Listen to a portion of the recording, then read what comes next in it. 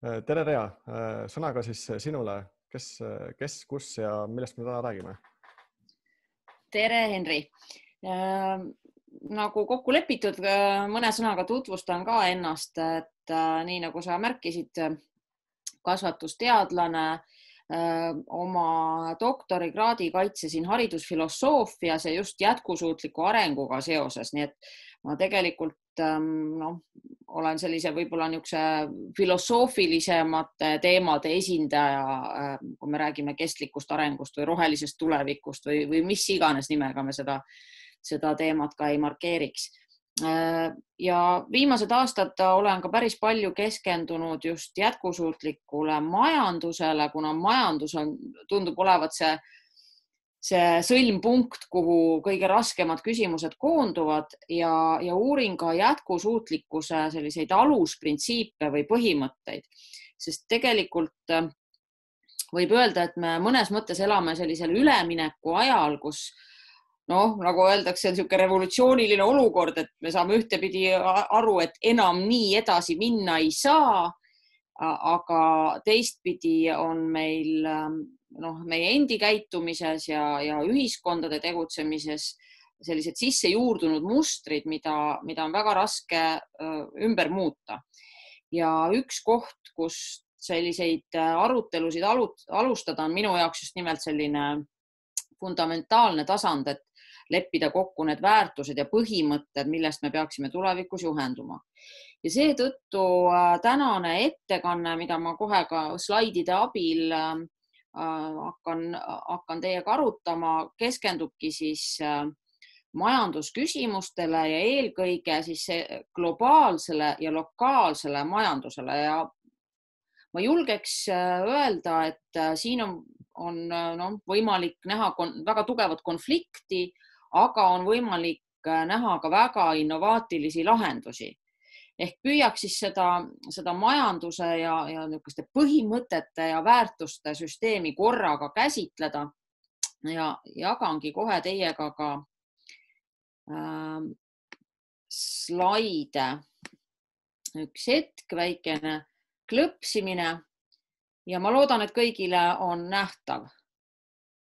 selge, et äh, räägiks siis, äh, siis äh, globaalsest, lokaalsest, need on sellised sõnad, mis on igale keskkonnateadlikule inimesele väga tuttavad äh, sellises käsitluses ja, ja kindlasti ka see, see jutt sinna juurde, et äh, piiramatu majanduskasv no ei ole lihtsalt äh, loodusseadustega kooskõlas ja võimalik, et see on teile kõigile tuttav. aga ähm, mis siis selline globaliseerumine tegelikult majanduse mõttes tähendab ja, ja, ja mis asi see lokaliseerumine, et, et lahendame globaalseid väljakutseid kohalikul tasandil, et mis see tegelikult tähendab, et kus need pro probleemi kohad on? Ja tegelikult see, mis, mis kohe silma hakkab, on globaalse majanduse või sellise neoliberalistliku majanduskäsitluse juures, et on, on see, et ta panustab äh, teatud protsessidesse, mis, mis lõpuks siis äh, nii-öelda jooksevad umbe või tekitavadki selliseid globaalseid probleeme, äh, mida me täna näeme. no üks nendest on näiteks monokultuursus. me teame ühelt poolt, et meil käib praegu liikide väljasuremine, et, et nii looduses, eks ole, elurikkus kaob kui ka kaob ju ka kultuuriline mitmekesisus. Ehk selline mitmekesisuse kadu on väga mitmel tasandil märgatav, see mitmekesisuse kadu on äh, nii looduses, kultuuris, mõtteviisis. Ehk selline monokultuursus ja no niisugune globalism käivad paratamatult omavahel koos. Ja see ei ole sama asi, mis me mõtleme, et läheme kuhugi suurde supermarketisse, et küll seal on palju kaupu, vaid see on pigem siis tõesti see, et ükskõik kuhu sa supermarketisse lähed, ükskõik millises riigis on seal ikka ühed ja samad kaubad, kõik nagu selline ühetaolisus hakkab domineerima. ja sellega kaasas käib ka tsentraliseeritus. et kui me vaatame ka Eestiski toimuvaid protsesse, siis äh, aeg-ajalt äh, ikkagi äh, me näeme seda, et üha süvenevalt ja süvenevalt tsentraliseeritakse, kas tsentraliseerimine käib kaasas näiteks haldusreformiga, kus me paneme järjest suuremaid kogukondi kokku ja toome nad ühise juhtimise alla? Või on see ka muul viisil elutegevuse planeerimine? Ja tsentraliseeritus on jällegi sellise globaalsusega kaasnev, sest paratamatult tsentraliseeritud süsteeme on kergem kontrollida. Sisuliselt me koondame noh, inimtegevuse kuhugi ühe nupu alla, kust on siis hea vajutada ja suunda muuta, eks. aga tsentraliseeritus omakorda lõhub ka mitmekesisust. nii et äh, sellised äh, noh, monokultuursus, tsentraliseeritus taaskord nagu, nagu koos käivad nähtused. aga mis veel äh, sellise globaalse majandusega käib koos, on sellised selline sõna nagu efektiivsus või selline nähtus nagu efektiivsus, millest me väga palju räägime. meile tundub, et see on hästi tore asi, et mida efektiivsem tootmine on, seda parem. aga efektiivsus saavutab väga kiiresti sellised mõõtmed, kus tema sisuks saabki võimalikult odavalt ja hästi palju. ehk sealt kumab läbi see meie tänase majanduse probleem kus kvaliteedid langevad, kui te lähete ükskõik kuhugi, kasvõi riidepoodi, tahate endale mingeid uusi riideid osta, siis te näete, et et kui me siin võrdleme võib-olla mingi mõne aasta taguste kvaliteetidega, et kvaliteedid langevad, materjalid lähevad järjest õhemaks, eks ole, kui me riietest räägime. järjest rohkem on sul vaja uusi, uusi riideid osta, sest vanad lähevad lihtsalt juba katki, eks. aga selle kõige taga ongi seesama efektiivsus, hästi palju, hästi odavalt ja seetõttu tegelikult noh, kui me räägime jätkusuutlikust arengust, siis selle asemel peaksime senisest rohkem hakkama rääkima optimaalsusest. et äh, tootmine, majandus ei tohiks olla enam nii noh, lõputult efektiivne, vaid optimaalne ja optimaalne tähendab seda, et jah, mingi tasandini me peame vaatama, et äh, kuidas me saaksime kokkuhoidlikumalt äh, toota ja, ja kuidas me saaksime noh, võib-olla mingit käivet suurendada, et, et meil on natuke suuremad mahud tootmisel, aga kuskil on need piirid ees, kus selline optimaalne lahendus, kus meie kvaliteedid säilivad, see hakkab nagu, nagu kaduma. et, et see efektiivsusega oleme me läinud ka majanduses nii-öelda tasakaalust välja ja sellega sellise noh, suure efektiivsuse tagaajamisega kaasneb omakorda ebavõrdsus, ebavõrdsus inimeste vahel, ettevõtete vahel, riikide vahel, kaasneb väga suur ebaõiglus ja ma olen pannud siia jutumärkidesse sellise väljendi nagu ebaökoloogilisus. Ja seda mõistet ma kasutan äh, tähistamaks siis selliseid protsesse või nähtusi, mis mõnes mõttes käivad nagu, nagu loomulikkusele vastu või, või, või loodusseadustele vastu.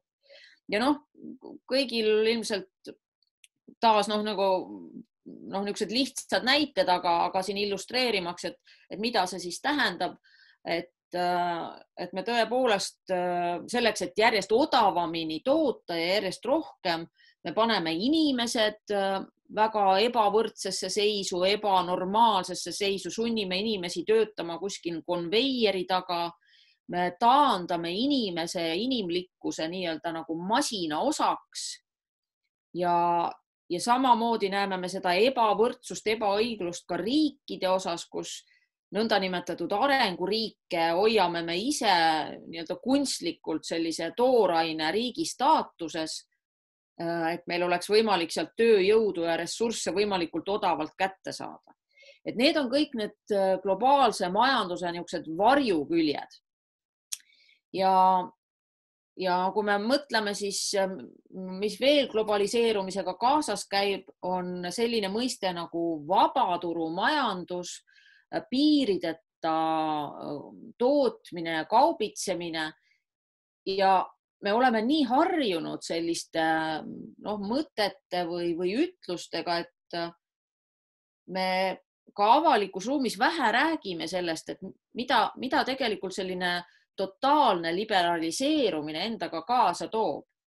et see tähendab, noh, ma piltlikult öeldes võin siin mõne näite tuua, et kui meil on täielik vabaturumajandus, vaba kaubitsemine näiteks ka Euroopa Liidu sees, kuidas on võimalik meie pisikesel Eesti kurgikasvatajal näiteks ellu jääda, kui tema kurkidega konkureerivad Hispaaniast siia toodud kurgid, mis on kasvatatud hoopis teises klimaatilises keskkonnas, eks ole, hoopis teises teises kontekstis, kus äh, võib-olla toetused, mida makstakse põllumajandusele, on, on suurte kääridega, et meie talupidaja saab vähem toetusi. Ja, ja Eesti väiksust silmas pidades meie tootmised ei saagi olla nii suuremahulised kui näiteks noh, oletame siis Hispaanias.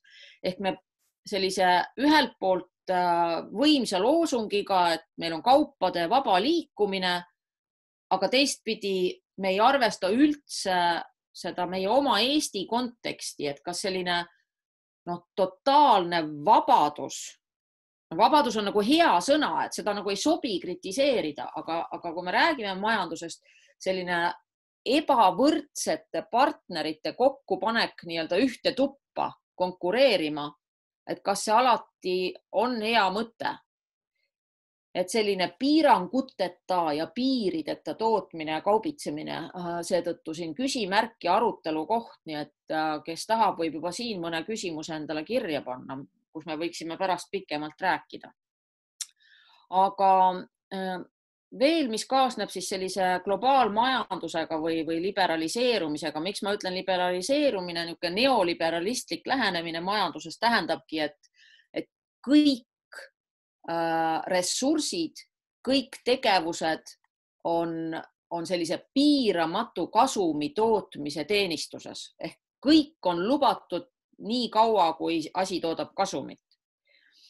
ja, ja sellega me näemegi kõiki neid probleeme, mida noh, maailmas te, teil nende varasemate seminaride käigus kindlasti väga põhjalikult käsitletud, eks ole kus äh, keskkonnakahjud on määratud, kus äh, noh, keskkonnast väga palju siin selles kontekstis räägime, aga kus ka inimese, kui me mõtleme nüüd hariduse inimese peale, siis ka inimene on taandatud selliseks ressursiks, et, et me räägime mitte inimesest, vaid räägime tööjõust ja, ja räägime, et hariduse eesmärk on tööturule noh, vastavate oskuste toomine.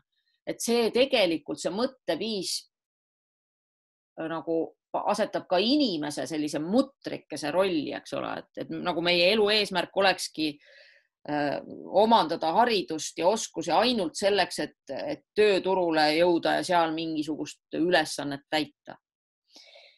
ja, ja sellega siis loomulikult kaasneb ka selline ekspordi ja rahvusvahelise konkurentsi nagu ülimuslikkus või või, või ähm, selle nagu noh, prioriteediks asetamine. et täiesti tavapärane taaskord, et ka Eesti meediaruumis või aruteluruumis räägime me ikkagi, et oi, meil on vaja eksporti suurendada. Äh, meil on vaja välismaiseid investoreid siia meelitada. et see tooks nagu õnne õuele. aga me jätame küsimata selle äh, või, või arutlemata selle ümber, et Äh, välismaisel investoril puudub noh, tavaliselt ju seos selle riigiga, kus ta on, niisugune hingeline emotsionaalne side. tal on ainult üks eesmärk, efektiivsus, see, millest me ennem eelmise slaidi juures rääkisime ja efektiivsus, nagu ma kordan veel kord üle, maksimaalne kasum minimaalsete kuludega.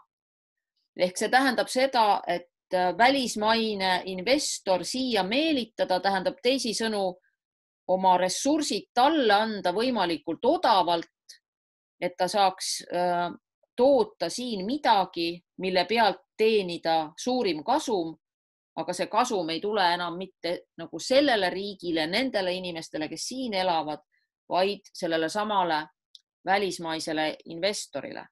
ja ekspordi puhul me räägime ka, et äh, et nagu oleks äh, selline eelistatud prioriteet see, kui me noh, ekspordime kogu Eesti biomassi Hiina näiteks, korjame ära kõik mustikad, mis meil on soovitatavalt võõrtööjõuga, sest see on ka odav ja veame kõik välja, et äh, siis on kõik nagu, nagu hästi ja toimib.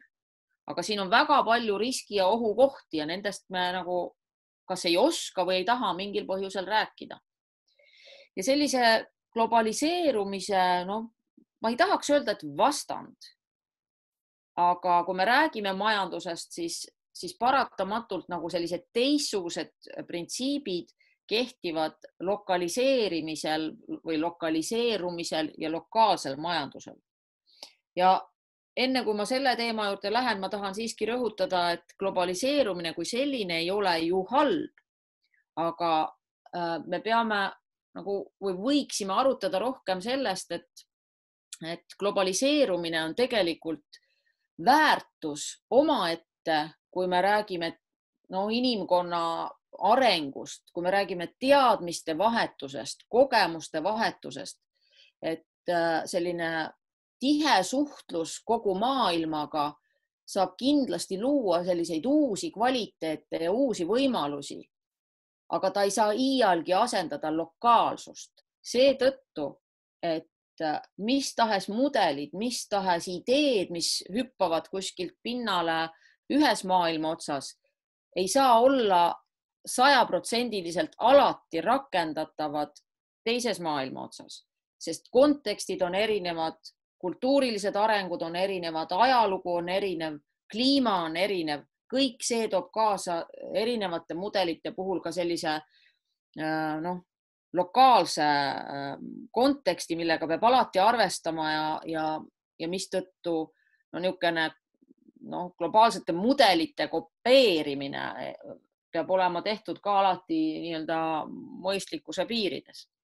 ja tegelikult nende põhimõtete niisugust võrdlust ehk globaliseerumine, lokaliseerumine, seda nii-öelda noh, ütleme praegu sellist vastandumist, seda on võib-olla kergem lihtsalt kirjeldada, on käsitlenud ju paljud autorid läbi ajaloo ja võib-olla niisugused tuntumad äh, ka ütlused, näiteks äh, small is beautiful, väike on ilus, et see väike pisike lause äh, ütleb ju seda, et areng ja kvaliteet pesitseb tegelikult nagu väiksemates mõõtmetes või väiksemal skaalal. Et see väike on ja just see sõna seal ilus, mida Schumacher just tahab toonitada, on see, et me räägime kogu aeg nagu rahalistest mõõtmetest, me räägime kogu aeg noh, kasumitest, kui me majandusest räägime, aga me peaks rääkima ka võib-olla mingitest teistest väärtustest, mis kaasnevad eluga, sest majandus ei võrdu elu.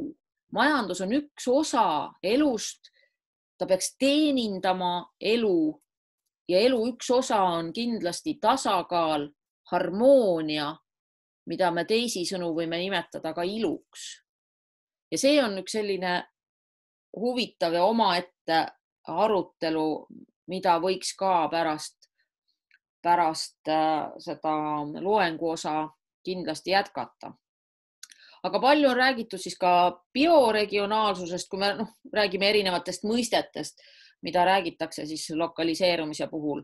Ja, ja tuuakse siis välja, et, äh, et lokaalsus on just nimelt see lahendus, mis on jätkusuutlik, mis rahuldab inimeste vajadusi, aga mitte tingimata kõiki nende soove ja ihasid, eks ole, et me räägime, et me tänases sellises ülepaisutatud majanduses elame nagu selles võtmes, et ükskõik kui hull idee meile pähe tuleb või ükskõik mida me ka ei taha, kohe tekib sellele ka äh, tootja taha ja, ja, ja kõike me saame, mida ihk ihaldab. lokaalsusega käivad kaasas piirid ehk me peame kogu aeg neid piire kompama, mis asjad on need, mida meil on tegelikult vaja ja, ja mis on need asjad, mis teenindavad ainult meie mugavust ja meelelahutust Äh, sellisel viisil, mis hävitab meie elukeskkonda.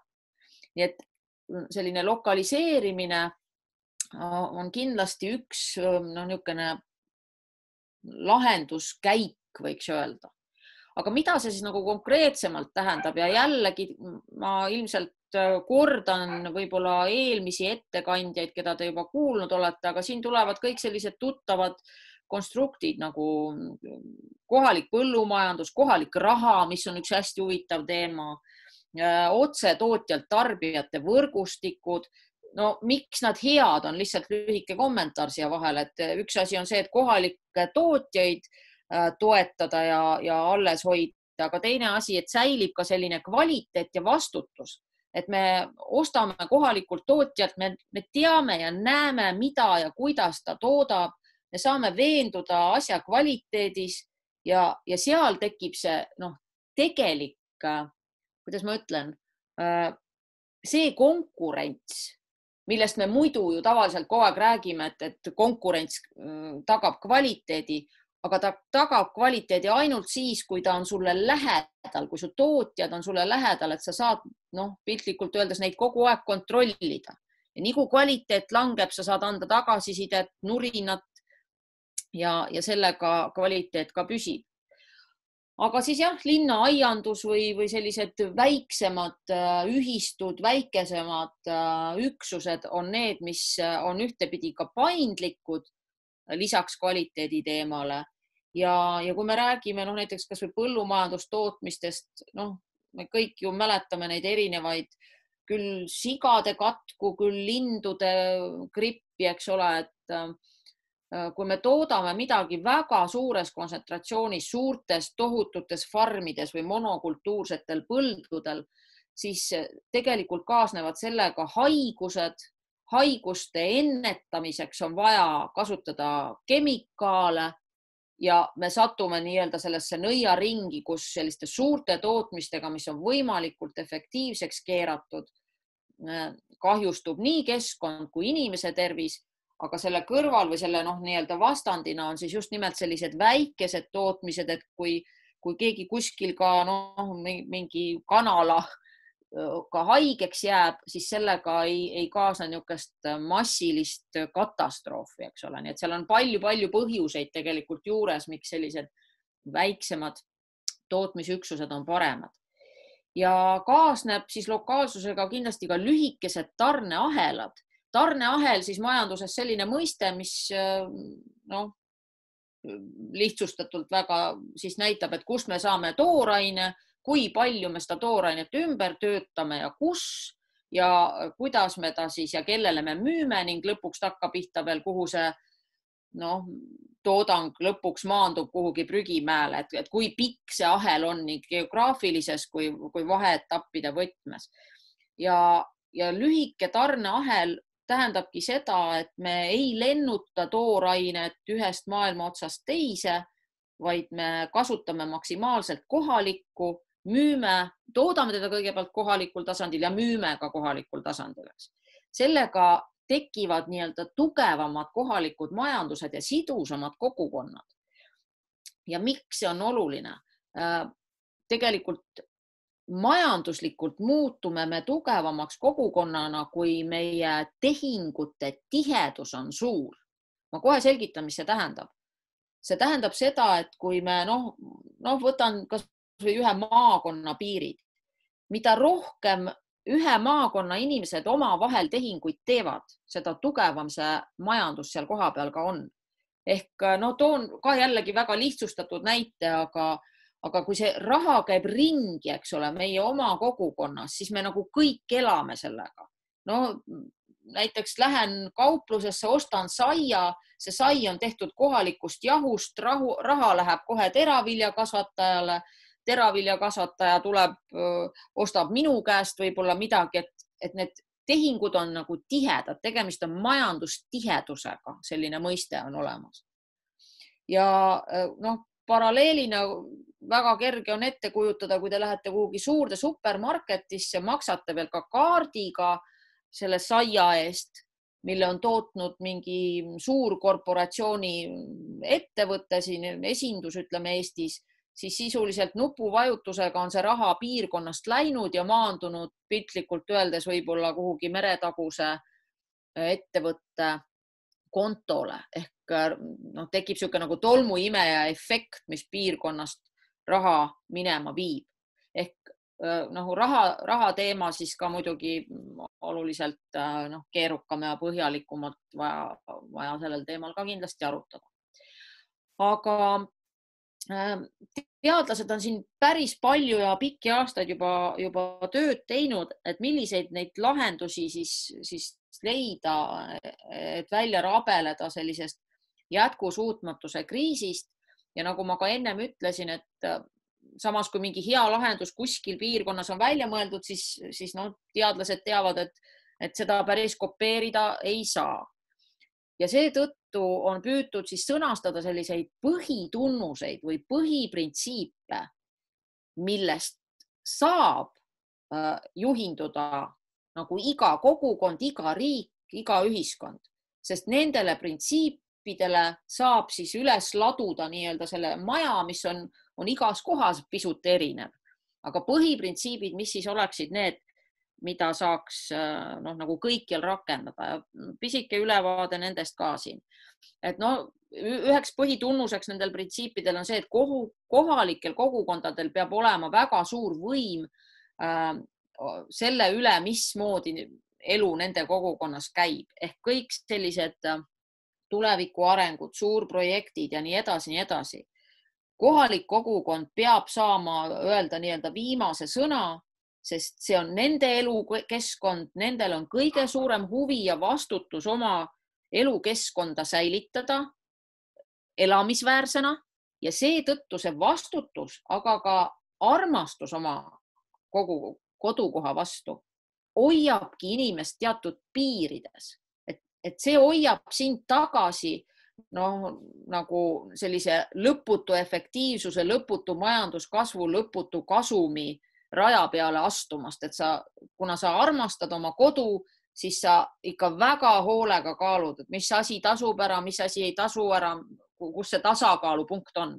Ja just seetõttu peab kohalikel kogukondadel see vastutus või see otsuse tegemise õigus olema no kindlasti ökoloogilise jalajälje vähendamine peaks olema üks tunnus, et mida iganes me toodame äh, või välja mõtleme, me peaksime kõigepealt küsima, et kas see panustab keskkonna näiteks taastamisse või kas see panustab sellele, et keskkonda hoida. Ja sellega no paralleelina loomulikult käib kaasas ka inimese tervis, nii et inimese keskkonna tervis on, on tegelikult siin selle, selle punkti juures, et kõik, kõik arendused peaksid sellega arvestama. nii et ähm, noh, ja sellega äh, loomulikult käib kaasas just see kohalike kogukondade tugevus ja jätkusuutlikkus peab olema see nagu ülim prioriteet, millega arvestada ja, ja sellega siis loomulikult me siin juba rääkisime ka sellistest ähm, noh, väliskorporatsioonide võib-olla niisuguseks sellisest äh, pigem majanduslikust huvist rääkisime pisut ka ekspordist, et selline noh, nagu tasakaalust väljas ekspordile keskendumine või võiks lõppeda, see, see ei tähenda, et eksportida ei võiks või ei peaks, aga pigem on ekspordi teema, et me, me veame välja seda, mida meil on endal kas üle või, või, või noh, midagi sellist, mis äh, mis on nagu nii-öelda liiaga meil endal. aga kõik hea peab olema, mida me ise toodame, meie oma ressurss peab olema eelkõige siis meie oma kohalike inimeste vajaduste rahuldamiseks. et noh, piltlikult öeldes me ei saa kõiki Eesti metsamustikaid Hiina välja vedada ja, ja lõpuks meie oma inimesed ostavad kuskilt Hispaaniast toodud äh, kemikaalidega kasvatatud mustikaid, eks, vaid vaid meie oma inimeste tervis, meie keskkonna tervis peavad olema prioriteedid ja vot siis sealt, mis üle jääb, see on meie ekspordi äh, objektiks äh,. siis äh, noh, loomulikult äh, tähendab see ka seda, et äh, kui me tahame niisugust lokaliseerimist rohkem tugevdada, et äh, see tähendab ka noh, niisuguse poliitilise võimu andmist selliste majandusotsuste tegemiseks see on kindlasti suuremat tähelepanu ka taastuvressursside kasutamisel, kohalike ressursside kasutamisel. noh, kõik sellised asjad, mis teile on ka tuttavad, aga üks punkt siin, mis noh, minu jaoks on ka selline väga huvitav arutelu koht, on loodusele seaduslike õiguste andmine. kuna ma ise kuulun ka globaalsesse äh, looduse õiguste äh, problemaatikaga tegelevasse ühendusse, siis äh, minu jaoks see, see tegeleb ka just sellise fundamentaaltasandiga, see tundub võib-olla selline kummaline, et mis mõttes looduste, loodusele õiguste andmine. aga see on äh, lausa seadusesse siis kirjutamine, et äh, loodusel on ka õigus eksisteerida. loodusel on ka õigus olla õitsengus, noh sageli antakse sellised äh, noh, nagu, nagu juriidilise isiku õigused teatud äh, loodusobjektile. Maailmas on noh, näiteks antud õigused jõgedele, mägedele, teatud noh, nagu mingisugustele sellistele pinnavormidele võib-olla, mis äh, kohalikele inimestele on väga tähtsad, aga see annab just selliste suurte majandusprojektide juures nagu suuremat kaalu loodusele, et et kas meil on õigus ühte, ühte jõge näiteks kasvõi Emajõge ära reostada, sellepärast et selle äärde kerkiv tehas on majanduslikult kasumlik. et loodusele õiguste andmine tähendabki seda, et ka juriidiliselt, ka planeeringutes nagu kerkib esile, et see looduse puhtus, looduse tervis on sama oluline argument kui, kui majanduslik argument, aga noh, see on selline no, juriidika teema ka, keda huvitab siis sellel teemal võib ka arutleda. nii et äh, noh, siin me oleme nendest pisut teises sõnastuses juba rääkinud sellisest äh,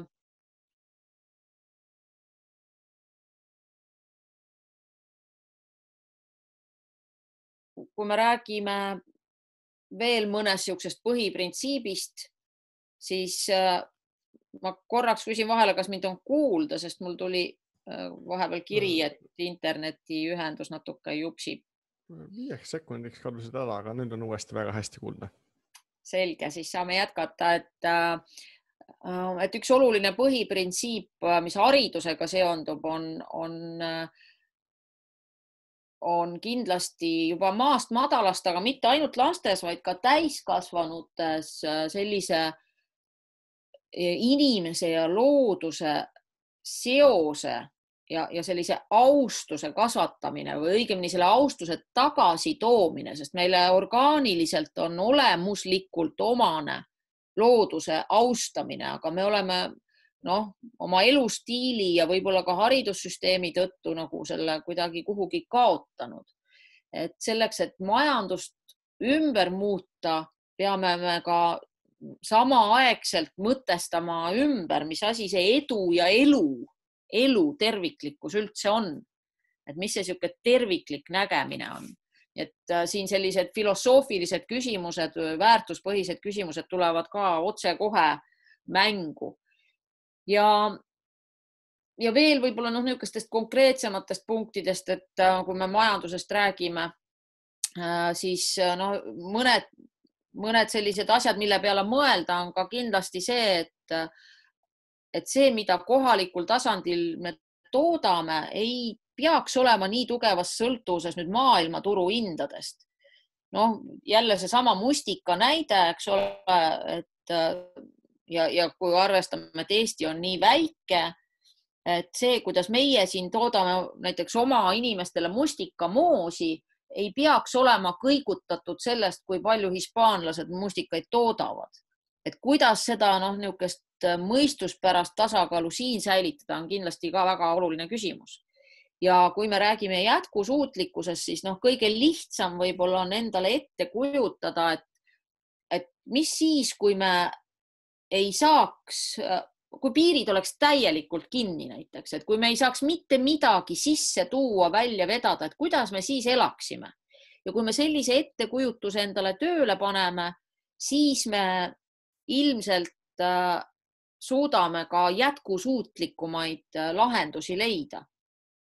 sest see on täpselt see piiride küsimus, et kuidas me tegutseme piirides, noh, kõige lihtsam inimesel ongi ette kujutada, et paneme riigipiiri kinni ja nüüd me olemegi piiratud, et kas me siis jääksime ellu. kui me suudame selliseid äh, mudeleid välja mõelda, siis need ongi jätkusuutlikud mudelid aga loomulikult äh, majanduse lokaliseerimise osas on ka kõvasti kriitikat, et äh, mis asi see siis nüüd on, et kas see on selline protektsionism, et äh, uste sulgemine, vanameelsus, liigne patriotism või, või et oi, me ei taha midagi uut ja huvitavat vastu võtta. siin on jälle üks hästi huvitav arutelu koht, mida, mida me võiksime ka puudutada, et, et kas selline lõpmatu avatus kõigele ja, ja lõpmatu sulandumine äh, on hea mõte, sest äh, kui rääkida nüüd inimesest äh, ja ka riigi või rahvuse identiteetidest, siis need kujunevad alati erisusega, erinevusega, mitmekesisuses, et see mitmekesisus ise on väga suur nagu arengu eeldus. et seetõttu selline piirides tegutsemine on, no mina julgen väita, niisugune piiride asetamine ja piirides tegutsemine on kindlasti noh, või noh, ma ei saa öelda, et kindlasti, sest see kõik oleneb detailidest, aga kindlasti ta jälle sama sõna ütlen, äh, kuidagi jätkusuutlikumaks neid süsteeme keerab. ja ähm, noh, mis meil siin veel huvitavat veel oleks? püüan natuke kiirustada, et meil loenguaeg liiga pikaks ei läheks. no kindlasti on üks huvitav temaatika on tehnoloogia arendus, et milline on jätkusuutlik tehnoloogia ma julgen väita, et enamus tehnoloogilisi arendusi, mis nüüd ütleme tavainimese kasutuses on, panustavad pigem inimese mugavusse ja meelelahutusse kui äh, sellesse, et, et nagu niisugust elu või, või tervist või keskkonnatervist taastada või hoida, eks ole. et tekib küsimus nagu, milline on moraalne tehnoloogia, kui sellist väljendit üldse võiks kasutada. et, et jällegi see koht, kus me peaks küsima, et mis on tehnoloogilise äh, nagu arengu eesmärk, kas lihtsalt, et oleks meil hästi palju tulesid ja vilesid ja kõik oleks hästi vingelt ja piiksuks palju ja roboteid oleks terve maailm täis, et kas see on inimkonna niisugune arengu ülim, äh, ülim eesmärk? mulle meenub ühe, ühe õpilase uurimistöö, mis oli minu jaoks nagu ääretult fantastiliselt huvitav ja, ja innovaatiline kus äh, ta otsustas lähtuda probleemist, mis seondub transpordiga, et transport äh, on ju noh, teatavasti suur saasteallikas, et kuidas lahendada sellist, sellist saasteprobleemi. tavaliselt me räägime ju sellisel puhul alati mingitest roheenergiatest elektriautodest ja nii edasi, nii edasi, aga selle õpilase uurimustöö keskendus inimese vaimsete võimete arengule ja arendamisele nii, et inimene oleks võime, võimeline teleport orienteeruma või, või nii-öelda oma mõttejõuga asju liigutama ühest kohast teise ja ka ise rändama. ja see tundub nagu fantastika valdkonda kuuluv tem temaatika, aga ta suutis välja nuhkida interneti avaldus, avarustest ka Hiinas tehtud täiesti teadusuuringud selles vallas, eks, mis panebki küsima, et Äh, kuidas me siis oma tee noh, või mis ongi meie suurem eesmärk, et kas, kas tehnoloogiat arendada lihtsalt selleks, et telekommunikatsiooni ja tehnoloogiafirmadel oleks kõvasti tööd ja kasumit? Või on tõepoolest, me peaksime küsima, küsima, et aga mis siis tegelik probleem on, et seesama transpordi probleem on ju, kuidas me ohutult ja saastevabalt inimesi ja kaupu transpordime, et kas selleks on tingimata vaja sellist tehnoloogilist lahendust, et võib-olla siin on hoopis mingid vaimsemad ähm, arengud taga. nii et äh, selliseid äh, huvitavaid küsimusi saab küsida siis, kui me otsime innovaatilisi lahendusi, aga innovaatilised lahendused on alati, noh, ma julgen öelda, tõeliselt innovaatilised lahendused on alati pisut ketserlikud. Nad küsivad selliseid mõnes mõttes lihtsaid küsimusi, aga väga ootamatult ja niisuguseid põhjapanevaid küsimusi ja innovatsioon ei ilmuta ennast sugugi mitte alati siis, kui sa annad nagu niisuguse totaalse vabaduse, et tee, mis tahad ja, ja siis ongi innovaatiline lahendus. vaid äh, innovatsioon ilmutab ennast ikkagi ka piirides, kus sul on kitsikus käes, sa oled nagu nurka surutud ja sa ei saa mõelda neid lahendusi, mis sul kõik nagu nii-öelda fantaasia lubab, vaid sa pead mingite mängureeglite, mingite piiridega arvestama ja siis tulema mingile täiesti uuele lahendusele. nii et seega niisugune õigete küsimuste küsimine, et, kas me, meie arendused panustavad inimese ja keskkonna tervisesse või millesse üldse, mis on eesmärk, mis on vahend ne,, neid küsimusi peaksime küsima majanduses senisest enam. ja no siin ma viimases slaidis on ka mõned jätkusuutlikkuse põhiprintsiibid veel teiste, teiste noh, teadlaste poolt sõnastatuna, aga ma jätaksin nad praegu kommenteerimata ja võib-olla arutelu käigus saab neid siis ka veel kord esile tõsta, nii et ähm, siin võtsin slaidid praegu eest ära natuke inimlikumat kontakti ja olen mhm. avatud kõikidele küsimustele ja aitäh väga põhjaliku esitluse eest. Ähm, aega küsimusteks meil on umbes pool tundi, võib ka rohkem, oleneb, äh, kui põnevaks äh, läheb. Äh, küsimustest nii palju, et selleks, et hästi vestelda, palun siis kirjutada näiteks vestlusesse tärn või tärn ja pluss. tärn, kui soovite küsimust küsida, tärn pluss, kui soovite mingit mõtet veel lisada. muidugi, kui vestlust, vestlus nüüd väga aktiivseks ei lähe, võite ka kohe ennast lihtsalt hääletult maha võtta ja otse küsida. kes äh, ülekannet äh, sotsiaalmeediast jälgib, siis äh, teil on võimalik vajutada lingile ja Zoomi vestlusega ühineda ja siis siin ka küsimusi küsida, arutleda, mõtelda, vastu vaielda ma ise panin siia lihtsalt mõned niisugused märksõnad, mis, mis nagu tavaliselt noh, niisugune rohkem diskussiooni ka kaasa on toonud, et, et võib-olla käivitab mõne mõttelõnga. Mhm. võime hetke oodata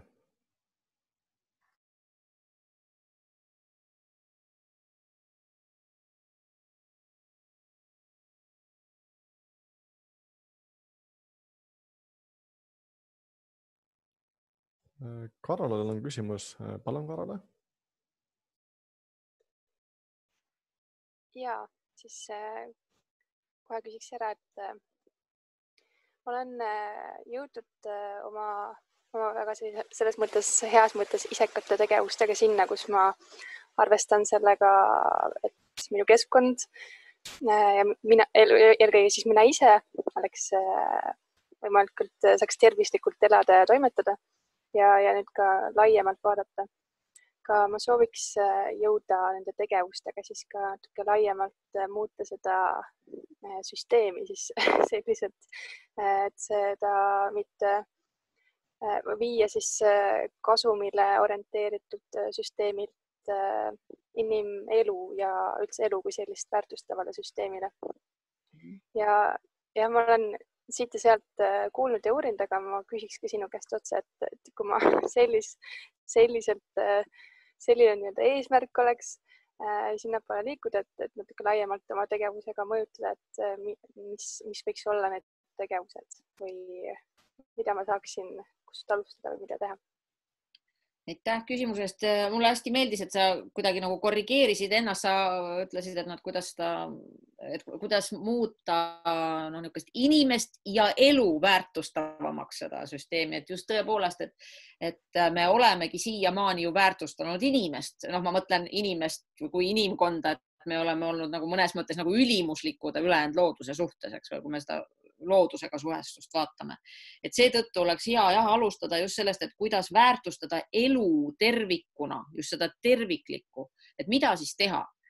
ja no minu arust kaks suunda on sellised, mis tavaliselt toovad kõige rohkem muutust kaasa, on, on kindlasti poliitika sest poliitika on ju kogu ühiskonna elu, eks ole, me kuidagi oleme harjunud mõtlema, et poliitik on mingisugune eraldi veregrupiga loom naljaga pooleks, eks, aga, aga poliitikad on ju need, see on, see on see, milliseid seaduseid me teeme, milliseid reegleid me kehtestame, et sellise ühiskonna eluga kursis olek ja aktiivselt ringi vaatamine, mis toimub, see tähendab seda, et, et noh see nõuab endalt juba päris palju energiat ja ressurssi, et sa pead nagu lahtiste silmadega vaatama, milliseid otsuseid tehakse, kuidas neid tehakse, miks neid tehakse, nii et noh, niisugune positiivne uudishimu kogu ühiskonnaelu korralduse vastu.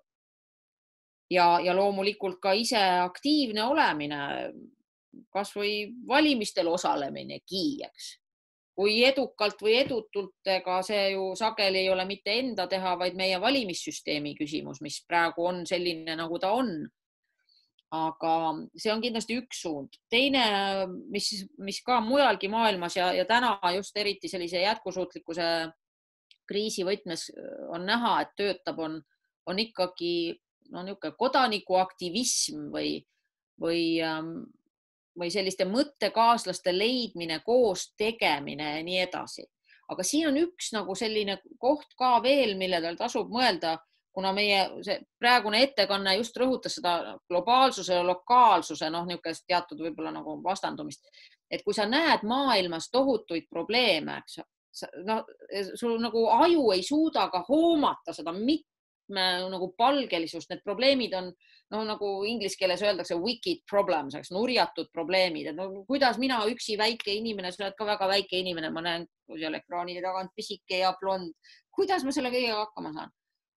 aga lahendus on nii naljakas, kui ka ta ei ole, on ikkagi seesama lokaalne tasand. lokaalne tähendab seda, et sa ei pea tingimata oma külas tegutsema, aga mõttekaaslased leida siit Eestist, luua mingi väike grupp, kes hakkab midagi tegema. Ja just nimelt ma rõhutaks sõna tegema, sest me äh, noh, teinekord sotsiaalmeedia ka on see, mis meid meelitab nagu lõputult chat sättima, lõputult rääkima, emotsioonid lendavad lakke, eks ole, aga kui sa vaatad, mis nende rääkimiste või, või kritiseerimiste või, või juttude taga on, siis nagu neid reaalseid tegusid on kuidagi vähe, sest ja, ja seda võib-olla sellepärast, et inimesed tahaks nagu korraga suuri probleeme lahendada. aga noh, see inimlikult ei ole kohe kergesti saavutatav et seetõttu kohapealsel tasandil endale lähedal olgu see geograafiliselt või mingil muul viisil endale lähedal asuvaid probleeme lahendama asuda ja nagu noh, meil eile äh, arutelu õhtulgi tuli välja see mõte, et, äh, et alustada iseendast nii-öelda positiivse egoismiga, et äh, pöörata endale hästi suurt tähelepanu, heas mõttes muidugi, et oma tervisele, oma toidule, oma keskkonnale ja, ja samaaegselt, kui sa sellele tähelepanu pöörad, sul tekib nagu see isiklik huvi, et, ma tahan süüa puhast toitu, et minu tervis oleks korras, aga sellega automaatselt kaasneb see, et sa hakkad nagu, nagu mitmes suunas ise ka arenema ja tegutsema, et kas sa võtad ühendust teiste tootjatega, sa lood mingeid kogukondi, sa panustad kohalikku majandusse juba paremini ja, ja läheb see asi edasi. nii et selline ühiskondlike protsessidega kaasaminek, kursis olek, ise tegutsemine, mõttekaaslaste leidmine kohalikul tasandil on need asjad, mida, mida saab igaüks teha. Karole, kas? Äh, ja siis ma jätkan äh, sellega, mida ma teen, sest mulle tundub, et need probleemid on justkui nii põletavad ja nii suured, et, et ma tahaks neid nagu natuke kiiremini lahendada või jõuda kiiremini aga ma pigem siis äh, või äh, aktsepteerin seda, et äh, ma saan tegutseda siin lokaalsel tasandil ja, ja teha neid samu asju, mida sa ise välja tõid, millega ma tegelen. mitte arvata, et, et need ei ole piisavad. ma sulle vastuseks ütlen, et see on nii mõistetav, see tahe, et noh, sa tahaks nagu kuskilt sellest maakerast kinni võtta ja ta teistpidi pöörata, eks ole, et aga, aga see ei ole võimalik niimoodi aga samas see tahe peab olema, sest see panebki sind ju tegutsema, eks ole, et see, see tahet tuleb endas nagu hoida ja säilitada, aga, aga muidu jah, kui sa nagu lõpuks nagu liiga palju tahad kohe korda saata, seda maailma muuta, siis sa nagu kõigepealt sa põletad ennast läbi, sa tõmbad ennast ribadeks ja siis ei ole sinust kellelegi kasu. nii et äh, kunagi Gunnar Aarma ütles ka, et äh, me ei, ei me peame kõigepealt ise olema terved, tugevad, tasakaalus, enne kui me saame kedagi teist aidata, nii et selles mõttes see iseenda hoidmine on hästi oluline ka. väga hästi. aitäh. tegemisega natuke äh, lähme ka edasi. Jaanika küsib, et mis juhtub siis, kui ma keeldun tarbimast ja, ja kui mitte ainult mina, vaid ka paljud peale minu mis, mis selle tagajärg oleks? siin tahaks kangesti natuke nalja visata, et, et, et no kui sa keeldud tarbimast, siis sa no ilmselt sa jääd kohe nälga ja janusse sured ka. et selles mõttes me ju tarbime tegelikult iga päev midagi, aga ma saan väga hästi aru tegelikult, mida Jaanika tegelikult mõtles, et, et äh, ega mitte midagi ei juhtu. Et äh, ma, ma saan aru nii, et sa, Jaanika, ju küsid, et, et mis juhtub siis, kui me nagu lõpetame selle üleliigse tarbimise et tegelikult ju noh, põhimõtteliselt ei juhtu midagi, küll aga võid sa ennast äh, suhteliselt kiiresti kadusid. avastada mingis konflikti negatiivseid kommentaare teistelt inimestelt.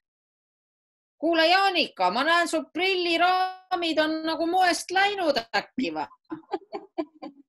see oli nali ei ole moest läinud, sul on väga ilusad prilliraamid, aga ma proovisin kuidagi näitlikustada seda, milliseid kommentaare võib tulla selliseid ka isegi oma sõpradelt või et issand jumal, sul on ikka neljandat aastat järjest, järjest see vana mobiiltelefon ja isegi ta ei ole sul veel nutitelefon, püha issand jumal hoidku, küll sa oled imelik inimene, eks. Aga kui ma olen immuunne selles, selles osas?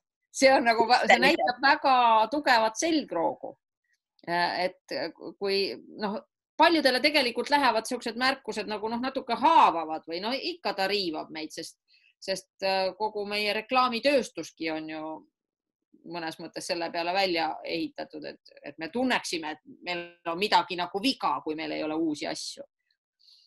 Ja, ja teinekord me oleme sunnitud tarbima mingeid selliseid asju, mis kehtestatakse või sunnitakse meile peale nii-öelda seadusega pead ostma asja, sellepärast et seadus on selline. no tuleb kellelgi mõni hea näide.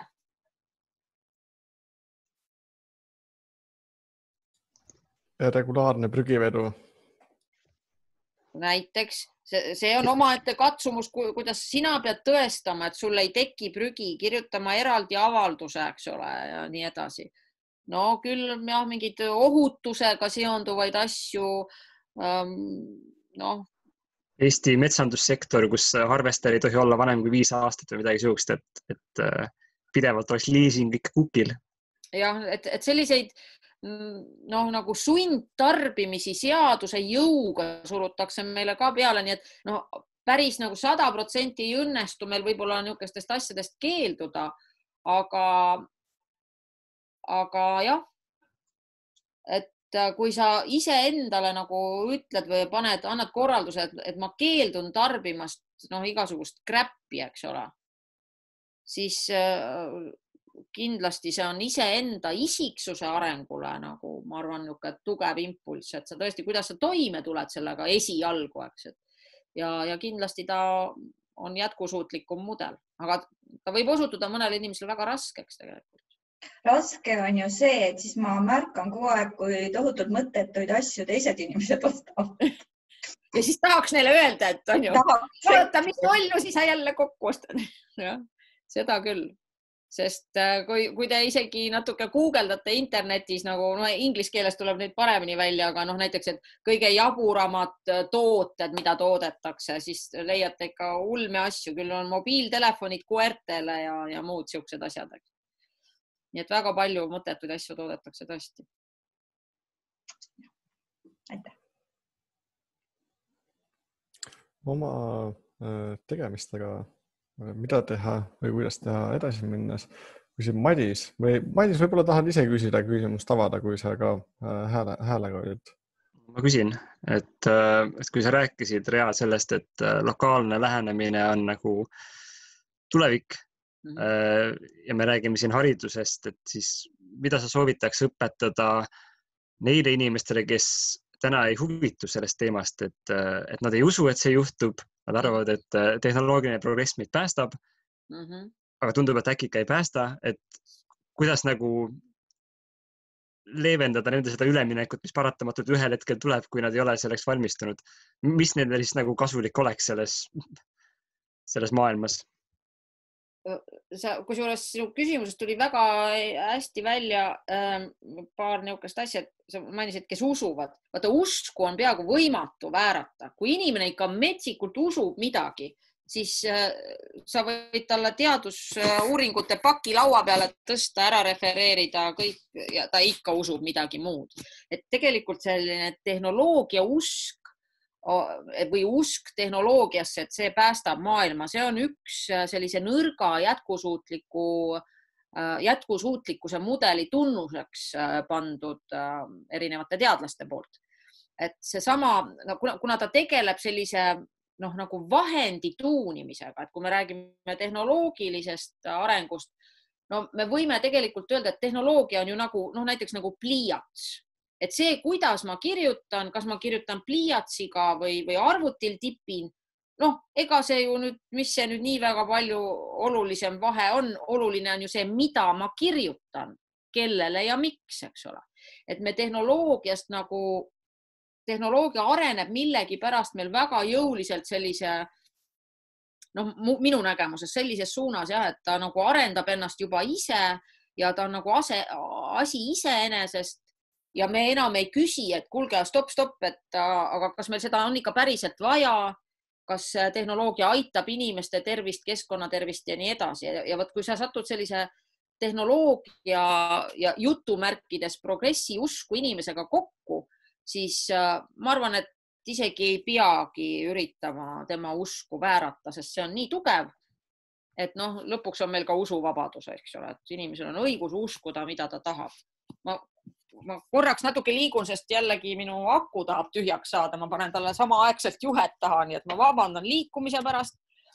aga, aga tõesti, et mida siis sellisele inimesele nagu õpetada, no ma võin omast kogemusest jagada, et mida mina teen või kuidas ma õpetan, on, on see, et ma noh, nagu tudengite või gümnaasiumiõpilastega väga sageli äh, alustan juttu äh, sellest samast, millest me tegelikult eile natuke rääkisime, et, äh, et, et mis su elu mõte on, mida sa, mida sa üldse tahad elult saada või kuhu sa tahad oma eluga välja jõuda. ja, ja tavaliselt alguses on see, see asi selline, et, et noh, kõik tahavad rikkaks saada kindlasti onju, see on üks tore asi ja, ja, ja noh, igasuguseid ilusaid kodusid ja autosid ja nii edasi ja nii edasi, aga kui me kuidagi nende vestlustega nagu sügavuti läheme, siis selgub, et kõik tahavad ähm, ikkagi, et nad oleks terved äh,, et neil oleks siit, äh, ma ei tea, armastav elukaaslane, eks ole, lapsed ja nii edasi, nii edasi. jõuame kiiresti turvalisuse küsimuste juurde, niipea kui lapsi mainitakse, räägitakse, et ma tahan, et mu tulevased lapsed oleks terved ja õnnelikud. aga mis asi on terve ja õnnelik laps, eks ole? jõuame kähku selleni, et oi, et tahaks, et ta saaks aias või õues mängida või kuskil olla, eks, aga mis selleks vaja on? kas elada no ma ei tea, Lasnamäel kuskil kahekümnekordses majas või, või kuskil väikses kohas, kus on hästi turvaline ja, ja vot kuidagi nende inimlike arutelude kaudu me jõuame tegelikult sinna, et, et äkki olekski vaja midagi väikest. äkki olekski vaja vähem, aga kvaliteetsemat. ja loomulikult noh, kui, kui panna sinna igasuguseid uuringuid ja, ja asju kõrvale, et noh, teadus on minu jaoks ikkagi see, mis mis aitaks äh, ka argumenteerida. aga mm, jah, ega samas on ka see, et ega teise inimese eest elu ära elada ei saa, et kes ei taha, et teda aidatakse või kes ei taha arutleda või keeruliste küsimuste äh, korral niisuguseid noh, nagu uusi nurki leida, ega sa teda noh, väga sundida ei saa. ju ta siis ühel hetkel satub olukorda ettevalmistamatult ja eks see on kindlasti raske väga-väga jääb kõlama, et, et siis vestelda nendega, kellega üldse on võimalik äh, vestelda, kellel võib-olla nii tugevat usku ei ole, kes on valmis äh, uut infot vastu võtma, on avatud mm. -hmm. aga teine asi, kui ka selleks siis ei ole, et, et küsida neid sügavaid küsimusi, aidata tal vaadata, mis, mis tema elu heaks või õnnelikuks teeb, mis, mis võiks äh, need väärtused olla, mida, mida ta näeb, et on talle või kaaslastele kasulikud mm edasi minnes küsib Juta, millist rolli Euroopa Liit mängiks või võiks mängida järk-järgulisel üleminekul kohalikule majandusele? no mina olen väga õnnelik selle meie roheleppe üle, mis on Euroopa Liidus praegu. Ähm, roheleppes on väga palju selliseid noh, strateegilisi suundi, mis, kui sa niimoodi natuke nagu loosungitena neid vaatad, siis nad on minu arust nagu ülihead, seesama from farm to for, from farm to fork, eks ole, talust toidulauale või talust taldrikule eesti keeles öeldakse, et kuidas tagada kohalik kohaliku toidu tootmine ja, ja kuidas ta võimalikult lühikese tarneahelaga jõuaks inimesteni ja kõik sellised asjad. Et kui vaadata neid strateegilisi suundi, siis need on minu arust nagu väga head ja Euroopa poolt tuleb ka siin surve nagu metsamajanduse poole peale, et äh, meil on vaja noh, väga selgelt on võetud suund, et meil on vaja äh, looduslikku mitmekesisust taastada, eks ole, suurendada. hästi palju selliseid häid äh, suuniseid aga äh, nagu öeldakse, saatan peitub ju detailides. ma olen, mu oma kogemus kahjuks on olnud selline, et, et strateegilised suunad defineeritakse väga võimsalt teadlaste kaasabil ülihead ära. ja vot siis, kui hakkab elluviimisfaas, siis millegipärast selgub, et ups, ellu hakkame viima täpselt vastupidiseid asju. ehk ma ei tea, kas see on see vana mõtteviis kas seal on ärihuvid, mis nõuavad nagu sellist endist niisugust ainult kasvule orienteeritud majandusmudelit, aga kas seal on oskuste või teadmiste puudus, aga väga sageli on jah seda näha, et et ühelt poolt noh, võtame kasvõi mingi pestitsiidide, põllumajandusmürkide teema, et sellest on nii kaua räägitud, nii palju räägitud Euroopa Liidus kehtib ettevaatusprintsiip, eks ole, lisaks ja, ja, ja ometi võetakse meil vastu otsuseid või jätkatakse mingite väga keskkonnakahjulike tegevustega või ainete kasutamisega. Ja, ja lõpuks maandub see, see põhjendus, et miks me seda teeme ikka sellele, et oi, aga meil noh, ikka nii on palju efektiivsem ja pole leida midagi asendust ja ikka noh, saate isegi aru, eks ole et ta kuidagi nagu, nagu vajuvad ära need head eesmärgid. et seetõttu noh, mina ise kasutan seda taktikat, et, et noh, et teeme siis seda, mida me lubame. Et kui loosung on püsti pandud, kui me oleme aru saanud, et meil on looduslikku mitmekesisust vaja taastada, suurendada, kui me, me oleme aru saanud, et kohalikke majandusi on vaja tugevdada, kohalikke kogukondi on vaja tugevdada, aga palun teeme ka siis seda. kui, kui see on see, mis meid viib äh, jätkusuutlikumale ähm, rajale, et äh, seetõttu noh, üsnagi murega ma olen siin jälginud äh, meie seadusloomet ka, kus näiteks kohalikelt omavalitsustelt võetakse pigem seda äh, iseotsustamise õigust või vetostamise õigust ära või vähendatakse seda, noh, kui me räägime jälle taaskord kas mingitest kaevandamistest või, või sellistest suurprojektidest, et, et noh, sellised suured eesmärgid, strateegilised eesmärgid, ähm, nendest tuleb ikkagi ka kinni hoida sel juhul. ja see on juba väga palju nagu inimeste teha, kas, kas inimesed äh, nagu nõuavad seda, sest me oleme lõpuks ju see rahvas ja valijad, eks ole, et, et äh, selles mõttes Euroopa Liit on praegu küll nagu abiks, et kuidas see asi kõik lõpeb või kuidas see asi ellu viiakse, on teine asi, aga loosungid ja strateegilised suunised on väga head, ma julgen öelda.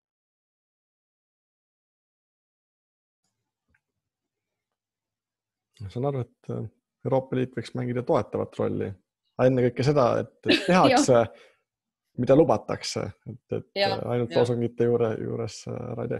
kas on mingi mõtteid või kommentaare, see on siin võib-olla lai, laiem teema isegi, mis äh, välja koorus.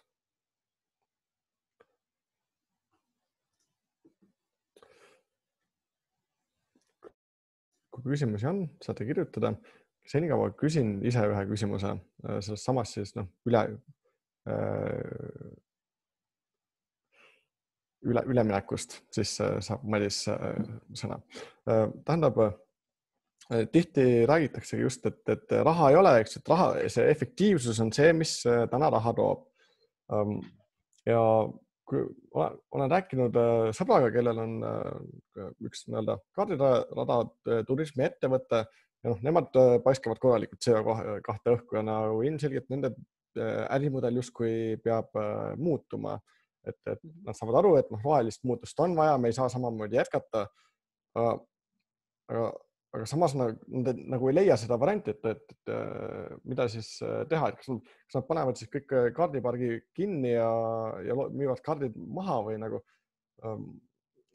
küsimus on, kuidas tema võiks nagu seda üleminekut teha või kuidas, kuidas me võiks teha nii, et äh, nagu tema jääks ka ellu, mitte et ta nagu kõik, kõik see ettevõte, mis ta ehitanud on, et nüüd on nagu tšau, sorry, aeg muutus, et mm et äh, no siin on väga palju vastuseid tegelikult võimalik. esiteks üks vastus on see, et elu ongi muutumises. elu muutubki kogu aeg, et äh, kui sa näed, no ma ei mõtle sind, eks ole, vaid ütleme sinu sõpra onju, et äh, kui sa tegelikult saad mõistusega aru, et me peaksime nii-öelda rohelisemaks minema.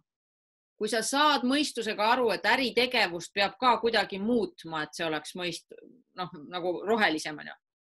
aga tee siis seda, mida sa seal soiud selle asja ümber? Ja pane oma aju tööle, mõtle välja mingi uus äri, sa ei pea päevapealt oma kardirada kinni panema, aga sa võid hakata vaikselt midagi ümber tuunima, pane, pane aju tööle, nagu öeldakse. teine asi, mida sa mainisid, kogu see CO2 kaubandus on minu jaoks nagu kohati võtab väga silmakirjalikke mõõtmeid muidugi. et äh, noh, piltlikult öeldes, et mul on tohutult tossav tehas, on ju, ja nüüd mul on hurraa mingisugune äh, seadusandlus selline, et maksan kuhugi pisut raha või, või äh, võtan mingi, mingist platvormist, ostan nii-öelda osaku, kus keegi minu eest istutab, ma ei tea, tuhat kuuseistikut kuhugi ja siis ma saan rahulikult edasi tossata oma, oma tehasega. see ei ole ju point. point on see, et tehas ei tossaks et tegelikult see, see noh, erinevate selliste kompensatsioonimehhanismide puhul ka inimlik leidlikkus on ju väga võimas, et noh, selles mõttes see innovatsioon töötab meil ju tagurpidi ka, et kuidas saaks mööda viilida mingitest asjadest. et, et seetõttu noh, mulle väga meeldiks, kui, kui need meetmed keskenduksid ikkagi jällegi asja sisule või, või eesmärgile. et aga jah, et kui võtta nüüd väikeettevõtja seisukohast või et sul on see kardirada, sa oled seda aastaid-aastaid võib-olla seda firmat niimoodi äh, üles töötanud ja ähm, ega noh, ma ei tea, kas neid elektriga töötavaid neid karte on olemas või, et eks sinna suunda ilmselt peaks vaatama. ja, ja teine asi, et võib-olla seda kardirada on võimalik rakendada kuidagi hoopis teistmoodi või muul moel aga äh, selliste üleminekute puhul on üks asi küll õige, et äh, ei saa laduda seda vastutust nüüd, et kogu maailma jätkusuutlikkuse lahendus on nüüd sinu vaene sõber seal oma kardifirmaga, vot tema nüüd, tema peab selle kogu koorma ära vedama, vaid äh, vaja on anda inimestele aega, vaja on tegelikult toetada, kui noh, teinekord ka rahaliselt, et kuidas see üleminek toimuks no, noh, kasvõi näiteks põllumajanduses, kui sa ütled põllumehele, et kõik lõpp, rohkem mürke kasutada ei saa. ta on juba harjunud nii, ta ei oska teisiti, eks ole, see on koolituste, see on hariduse küsimus, aga see on ka selline järk-järgulise ülemineku küsimus, see on teaduse küsimus, teadlased peavad pakkuma lahendusi, et millised on need ained, millega sa saad kahjureid tõrjuda, eks ole, nii-öelda mürgivabalt, kui me vaatame noh, jälle toidutootmise sektori näidet, et äh, meil siin Eestiski on ju neid äh, aiandeid, kes meile igast lehtsalatit näiteks kasvatavad, nad juba päris tükk aega kasutavad äh, kahjurite tõrjumiseks juba bioloogilisi vahendeid, ka teisi nagu kasureid ehk kasulikke putukaid. et see keemia kasutamise vähendamine on ju noh, juba järjest muutub nagu niisuguseks trendiks ja, ja seesama kaardi sõitmise koha pealt ka, et et mis need alternatiivid on, et, siin peab ikkagi kogu ühiskond äh, nagu koos mõtlema neid asju ja, ja need ei tule päevapealt, see on selge ja päevapealt ei saa ega ka ei pea ära lõpetama oma äritegevust.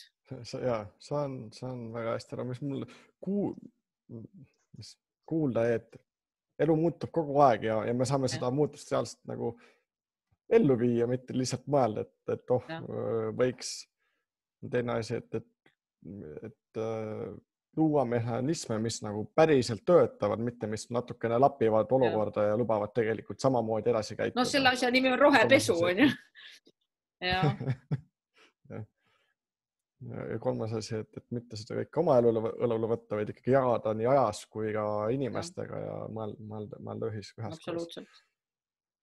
Äh, ja, ja ja, ja elektrikaarte nad vaikselt kasutavad ja, ka. ja, ja mis puudutab muutustesse, et äh, sageli mingisuguseid äh, arenguid nagu noh, üritatakse inimestele söödavamaks teha sellesama lausega ka, eks ole, et, et elu muutubki ja miks sa ei, miks sa ei tule muutustega kaasa, eks ole, et igavene tagurlane selline onju.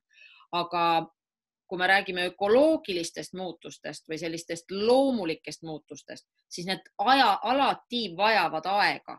kui sa tahad, et muutus oleks hea, püsiks, oleks jätkusuutlik, siis see vajab aega. ta vajab sellist noh, nagu pidevat, esiteks noh, nagu nagu väljamõtlemise aega, kohanemise aega ja ta omakorda niisugust tuunimise aega, et mingid niisugused suured muutused, sa pead neid nagu tasakesi hakkama ellu viima, natukene kohendama, jälle astud järgmise sammu. Et kõik sellised äh, raksakid ja olgu nii tehtud päevapealt, need on sellised nagu ebaloomulikud häiringud, ma ütleks. et mm., et ähm, jah, et ei pea kartma, et asjad nii kohe peaks sündima ja väga-väga hea tähelepanek. Äh, Madis äh, Tärn, äh, palun, sõna sinul. ma Henri sõbrale ütleks, et ta peab ühe mäe leidma, mille otsa need kardid vedada ja siis saab gravitatsiooniga mäest alla lasta. see Kiviõli seikluskeskuses on olemas, Tuhamäe otsas saab alla koliseda siukse tõukeautoga, jube tore on noh, näed, palun väga. kuule, aga see, see on nagu päris reaalne lahendus, neil on nagu Kuningamägi sealsamas kõrval, kus on kaardirada. jah, võib-olla saab alla genereerida elektrit ka selle su sõbra firma arutelu, kuidas ta sellest asjast välja tuleks nüüd. aga reaalselt mul oli üks miniküsimus tuli vahele, et kas ma kuulsin õigesti, et kahjuri vastand on kasur? ja nimetatakse kasuriteks ju neid putukaid, kes on kasulikud, kahjur, eks ole, kes teeb, no, no kõige lihtsam on see, et lehetäi, eks ole, kes sul sööb mingeid taimi, aga kui sul on palju lepatriinusid, et siis lepatriinu omakorda sööb selle lehetäi ära, et lepatriinu on siis kasur mm. -hmm. selline. ja sügavam küsimus oli seoses selle roheleppega, mida sa mainisid, et ma olen ka nagu põgusalt lugenud seda ja minu arust kohe alguses on seal suurelt kirjas, et see on äh, äh Euroopa rohelise kasvu strateegia Ja... kuidas siis sellega on nende piiride sees, et kas ikkagi ja... saad seda kasvu, ükskõik mis värvi kasvu lubada või ikkagi tegelikult seda kasvu ei saa nagu kohe üldse enam pressida sisse? minule see küsimus väga meeldib, sellepärast et äh, ka jätkusuutliku arengu eesmärgid, mis meil on äh, äh, kaks tuhat kolmekümneks pandud, need ÜRO omad, seal õilmitseb ka selline lause nagu majanduse poole sustainable growth. Need kaks sõna ei sobi omavahel kokku ja seda räägivad ka need teadlased, kes ise panustasid jätkusuutliku, äh, jätkusuutliku arengu eesmärkide koostamisse. Tänases maailmas, kui me räägime majanduskasvust, jätkusuutlikkus ja majanduskasv sellisel kujul, nagu ta seni on olnud, ei, need kaks sõna ei sobi kokku. tegelikult mina olen pigem nagu selle koolkonna poolt, võiks öelda, on need, kes räägivad ähm, nagu kestlikust kahanemisest või, või, või nagu jätkusuutlikust nagu kahanemisest, see tähendab seda, et, et äh, no seda, et me toodame ja tarbime ja prügistame liiga palju, see on vist lasteaialapsele ka tänapäeval selge. ehk kui me niimoodi kogu aeg toodame liiga palju ja kasvame, siis ei ole võimalik nagu no keeleliselt muud moodi väljenduda, kui et järelikult me peame kahanema aga see, ma julgen öelda, et nii poliitikute jaoks kui ka suurte ettevõtete ja kontsernide jaoks on see vastuvõetamatu nagu klomp, nad ei suuda seda alla neelata. Nad ei suuda öelda välja seda lauset, et kuulge, me peaks tegelikult majandust natukene kokku tõmbama. tegelikult peaks et arutame, seda... kuidas seda teha, nad, ma ei tea, kas nad ei oska või ei julge ja selle no. asemel hakatakse tegema niisuguseid nagu noh, ebamääraseid väljendeid. see on niisugune kõnepuue, sest kui hakkas koroonakriis Eestis arenema, siis äh, Tanel Kiik ütles telekas, et meid võib oodata negatiivne majanduskasv. ta ei saa muud moodi öelda seda ja,. jah, jah, jah, et äh, täiesti nõus, et minu jaoks see on ka isegi nagu selline mõtteviisi noh, niisugune nagu võib-olla sõlmküsimus, et miks me ei julge rääkida sellest, sellest, mis on tegelikult põhiprobleem põhiprobleem on see, et meie majanduskasv on liiga suur, see on võimatu, see on kunstlik, see on hävitav.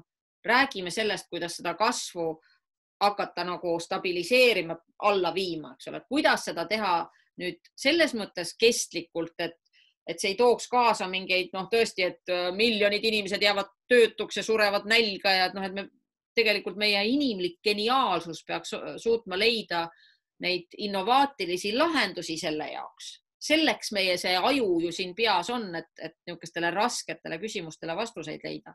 aga see vastuste leidmine minu arust algab ka sellest, et me peame asju nimetama õigete nimedega.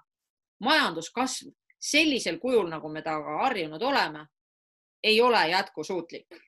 nii ta on lihtsalt. Ma panin vestluse aknasse sisse ühe pildi, mis on meie rohelise liikumise kontoris, seal on need säästliku arengu eesmärgid, kõik viisteist tükki või palju neid ja. on. Ja number kaheksa on äh, tööhõive ja majanduskasv, siis me oleme majanduskasvu maha tõmmanud sealt, et see ei ole vajalik. Ja.. jah, see on, see on, noh, see näitab, et su, sul on teema endal nagu väga süvitsi tegelikult selge, on ju, et sa märkad selliseid asju, on ju. et see tõepoolest Äh, nii nagu oli ennem juttu sellest, et me ei peaks rääkima enam nii palju sellest efektiivsusest, vaid peaksime rääkima optimaalsusest. samamoodi näiteks majanduskasvu asemel võiks edukalt kasutada sõna majandusareng, sest areng ei ole püstloodis alati, areng võib olla täiesti stabiilselt ka natuke allapoole suunaga, aga me räägime arengust just kvaliteetsemaks, säästvamaks, hoidvamaks, nii et sõna üks pool ära vahetada ja kõik oleks korras. jah, meenub üks äh, graafik nagu loodusest, et kuidas looduses asjad kasvavad, et, et kui meil noh, see äh, kasv ja on see aeg, siis, siis alguses kasvavadki, väike laps nagu saab suuremaks ja suuremaks ja siis mingi aeg see kasv nagu jääb, jääb seisma, saavutab mingi platoo ja läheb rahulikult edasi, siis on võimalus see, kus vaimselt äh, kasvat-, kasvatakse. jah, väga hea paralleel jah, et, et minu arust ka inimkond on jõudnud ajajärku, kus me äh, võiksime hakata vaimselt suuremaks kasvama, mitte kasvama äh, Äh, asjade poolest või, või tehnoloogiliste vidinate poolest, et, et see vaimsuse kasv on see, mida meil tegelikult vaja on, see on väga-väga hea tähelepanek sul. Hmm, olen vaikselt jõudmas lõpupoole. Ähm, üks küsimus veel. Äh, Jutta küsib, kuidas lääneriigid saavad kaasa aidata, et niinimetatud tooraineriigid äh, saaksid ka minna üle kohalikule majandusele me oleme ju sundinud mõned riigid ainult banaane või palmiõli kasvatama. noh, näiteks Fairtrade aitab äh, banaani ja kohvi kasvatatavates kogukondades äh, kohalikel mitmekesistada oma sissetulekuallikaid. Äh, kui aga mingil aastal laastab põhivilja mingi haigus või, või ilm, siis nendel talunikul on ka muud rahaallikad. mis on selliseid viise, kuidas meie nii-öelda põhja, põhjariikidena saaksime aidata või, või või ilmselt isegi siis äh, kodanikena ka? Mm, tegelikult ega noh, seadusandlused on ju meil olemas ja, ja, ja kui me tahaks, siis me võiks ju praegu kohe lõpetada selliste riikide, noh, ütleme otse niisuguse ekspluateerimise. küsimus ei ole mitte selles, et me ei oska. küsimus on, et me vist ikka ei taha ja seal taga ei ole mitte niivõrd noh, no riigid ka muidugi, aga, aga siin on ikkagi väga selged ärihuvid, nagu kui me räägime näiteks palmiõlist, mida siin mainitud on, siis äh, maailmas ju eksisteerib selline nagu ümarlaud või õigemini sertifikaat, mille nimi on äh, jätkusuutlik palmiõli ja siis, kui sa vaatad, et kes seda sertifikaati välja annavad või seal põhirolli mängivad, siis on need suured palmiõli tootjad. ehk äh, noh, kui mina oleks selline gigantne palmiõli tootja, siis no mis saaks olla toredamat, kui ma annan iseendale välja sertifikaadi, et kuulge, teate, meil on tegelikult jube jätkusuutlik see. ostke edasi. et mm, ega see, see inimlik ahnus ei ole kuhugi kadunud ja see, see soov neid kasumeid teenida, see ei kao ära. meie ei saa, mina julgen öelda, et me niimoodi niisama lihtsalt ei saa sinna midagi teha, aga me saame, nii nagu meil ettekandes ka oli seesama lokalism. ja see, mida tegelikult ka Jaanika puudutas, et kui me keeldume tarbimast, kui me hakkamegi ise nõudma, et ma tahangi oma toitu osta Eestis kasvatatud toiduaineid, miks ma pean ostma tooteid, kus on kasutatud palmiõli Äh, kui meie Eesti toodab ise ka maherüpsiõli, mis on noh, väga hästi kasutatav. ta on küll sutsu kallim, aga mis siis, ma keeldun odavat kräppi ostmast, on ju, ja orangutangi surma mõistmast, on ju. et see on, vot see on selline teadlikkuse küsimus ja, ja, ja jällegi ma näen, et see lahendus on see omamaise tootmise toetamine, omamaise sellise äh, noh, kuidagi nagu uuesti pilgu pööramine omaenda kodumaa poole, ka tootmistes ja ressurssides. et, et keeldume, andke andeks, aga Kalev toodab, Kalevi kommides on juba ammu palmiõli. kus on meil need noored sealt, see Fridays for Future, kus on need massid tänavatel, et ei osta enam Kalevi kommi. kommi sihtgrupp on ju lapsed et, et, ähm, et need on need, need asjad, mida saaks teha, eks ole, aga, aga kindlasti noh, seda on ju üritatud siin globaalselt ka, ma ütlen äh, igasuguseid regulatsioone ja, ja igasuguseid hüüdlauseid vastu võetud, kuidas, kuidas arenguriike ei tohiks niimoodi ekspluateerida, aga näe, ikka teeme. ei kuule sind, Henri ah,? kohalik tarbimine, kohaliku ostmine ja, ja, ja nagu sa põgusalt ka välja tõid, kodanikuaktivism. siinjuures juba poole tunni pärast on Fridays for Future kliimastreik Tartu Salekoja platsil ja Tallinnas Toompea esi seal äh, jätkuvad. Äh, see on. nõudke palmiõli vabu komme Kalevilt. sellepärast ma, ma, miks ma nii ütlen, tegelikult tuleb äh, selliseid asju öelda välja ka väga otseselt, et ähm, noh mm -hmm kui sa lihtsalt ütled äh, sellise loosungi, et oi, et, äh, et palmiõli on paha, siis ta kuidagi hajub ära, eks ole, aga kui sa ütled, et palun, Kalev, hakake tegema palmiõli vabu komme, et see nagu kuidagi toob selle vastutuse kohe nagu kindlale tasandile. ja et on need, keda me konkreetselt võtame vastutusele selle sõnumiga, mitte et me lihtsalt räägime, näed, et siis selline või selline sõnum jah, aga no vastutus on enda peal ka, sest siis sa pead ostma natuke kallimat kommi tulevikus mm,. ja mina Kalevit ei osta enam. üks, üks samm on tehtud. Ähm, oleme webinariga jõudmas ka lõpu, lõpusirgele. Äh, Rea, kas on midagi, mida sooviks, soovid veel äh, osalejatel jagada lõpetuseks, kokkuvõtteks mhm. mm? -hmm. Mm. ega siin on palju selliseid huvitavaid nagu harusid, mida, mida võiks edasi arutada. Juta veel küll ka küsib äh, siin nende arenguriikide osas. Ähm, ma julgen öelda, et äh, jätkuv arenguriikide surumine ja hoidmine nii-öelda arengumaa staatuses niikuinii ei lase nendel üle minna uuele majandusmudelile. et Äh, et minu jaoks ei ole see kunagi argument olnud, et las Bangladeshis äh, naised ja lapsed kuskil keldris töötavad, sest äh, mõelge, siis ta saab ikkagi raha, et oma kolm riisitera osta, onju. see on, see on ekspluataatori mõtteviis. et ähm, noh, pigem ma lõpetaks selle täiesti ära leierdatud, aga sügavat tõde omava lausega, et äh, olgu sul avarat pilku näha, mis maailmas toimub, olgu su mõtlemine paindlik, et sa oleks avatud ka kõige ketserlikumatele ideedele. aga tee nad teoks päriselt oma kätega ja enda lähikonnas